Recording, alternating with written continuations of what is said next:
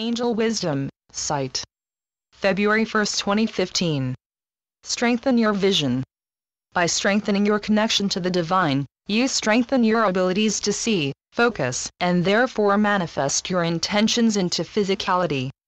Work on opening and enhancing your psychic vision and your third eye by using indigo light to assist you as well as working on your sight by relaxing and healing away any stress from your eye area.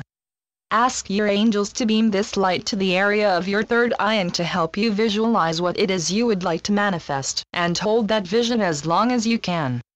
Imagine something in the future that you want to create and allow it into beingness, and trust that it will occur for you and then take the action steps you feel guided that will help you on that path and be open to the experience.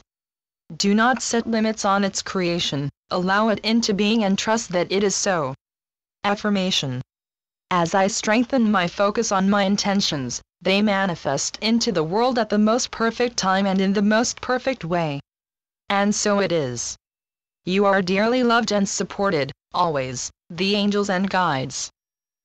Channeled through Sharon Taphorn. www.playingwiththeuniverse.com